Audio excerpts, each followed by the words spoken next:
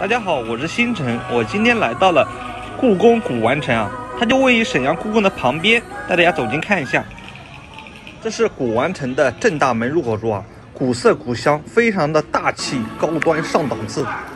它的全称是沈阳故宫古玩城，故宫古玩城下面还有“易顺来”三个金色大字。那么本期视频的主要内容就是带大家逛逛沈阳故宫古玩城。这里位于它的大厅，带大家走近看一下。它的一楼主要是卖辽宁省工艺美术师作品的专营店，光大博物馆、辽宁四宝书画文玩、工艺品、水晶、银饰、海洋玉髓、和田玉、翡翠、碎碟、琥珀等各种饰品。这家专柜啊，主要是卖当地的岫玉，也叫岫岩玉啊。它的产地位于辽宁省鞍山市岫岩满族自治县的特产。岫岩玉为中国历史上的四大名玉之一，其三为陕西的蓝田玉、新疆的和田玉和河南的独山玉。岫岩玉啊，因产于辽宁岫岩而得名。二零零五年十二月三十一日，原国家质检总局批准对岫岩玉啊实施地理标志产品的保护。岫岩玉它的特点是质地坚韧、细腻温润。光泽明亮。我现在来到另外一家卖岫岩玉的专柜啊，它这边都是简称，就叫岫玉。这家专柜是辽宁岫玉厂家直销，价格是不是实惠一点？这都是现代的工艺品啊。我对玉石还有古玩都不懂啊，我只是带大家看看，随便逛一逛。这是另外一个区，也是位于一楼，专业编绳和配件。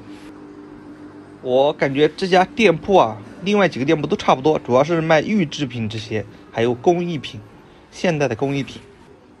我的右手的前方，这是卖古玩的古秀院，里面有字画、古董、陶器这些的。现在这个店铺啊，它就是卖现代的工艺品，各种各样的工艺品、玉制品，好多东西我都不认识啊，我带大家走近看一下。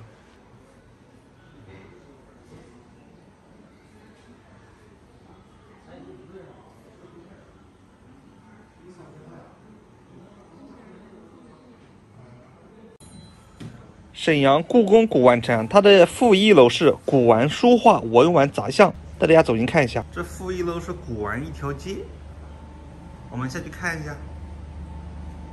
一进门就能看到故宫古玩城，欢迎您。旁边还有个商标叫易顺来。这就是负一楼的古玩城，带大家走进逛一下。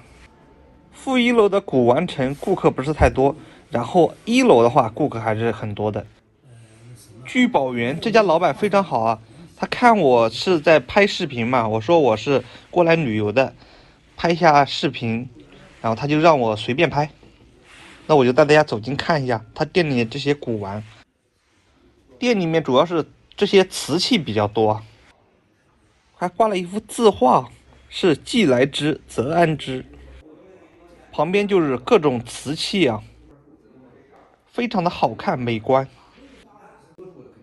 老板在外面和人聊天，然后店里面就让我进来随便拍。这位老板大哥人非常的好，这是刚刚拍视频的对面的位置，这边是主要是卖喝茶的茶壶、茶杯，都是非常的好看，有各种美丽的图案。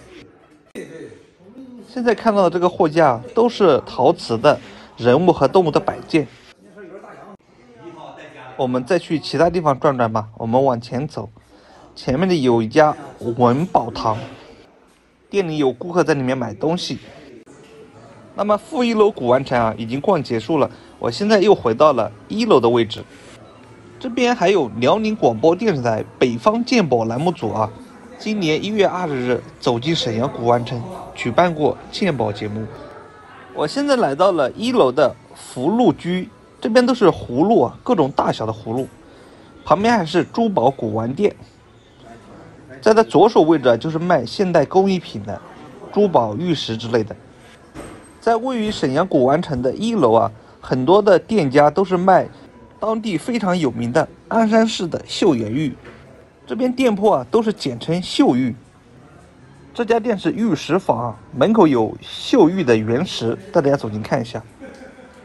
现在这里啊，就是秀玉的原石了。我感觉中间位置的秀玉的原石最好看了。这是用秀玉制作的象棋啊，旁边还带宝石鉴定的证书，这个非常的高端啊。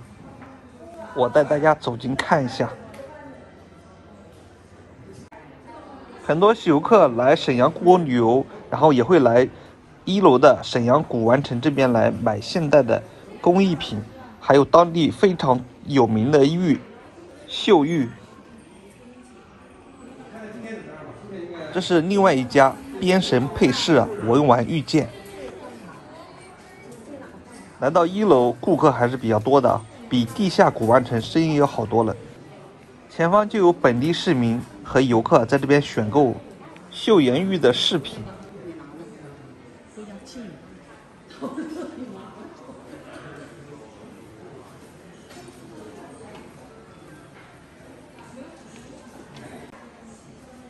沈阳故宫古玩城啊，它的地址是位于沈阳市沈河区沈阳路一百二十六号，也就是位于沈阳故宫的旁边。